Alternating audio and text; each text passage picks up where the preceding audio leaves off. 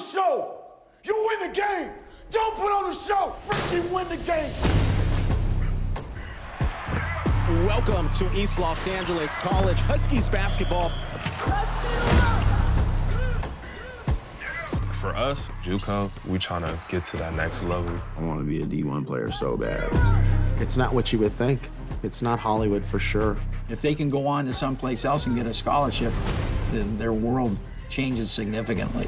It's hard as hell here. It's hard. You could lose your mind trying to fill these shoes. Why the man upstairs had to choose me? It's your last chance. I'm not looking for just respectable. I'm trying to win state championship. John's been like right there to winning it all, like multiple times. Haven't got over that hump. He want the best opportunities for those kids. He prays for me. If I needed to come to speak with him right now, he would be there.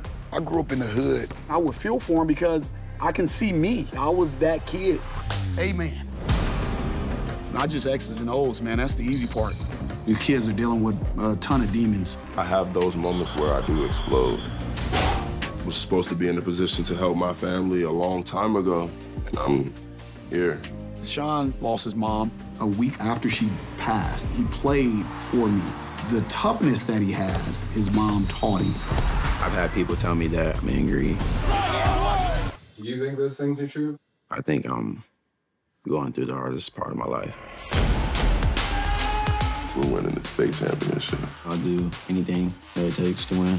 This is my whole reason for being here, so I could get this championship, move on. The human highlight continues.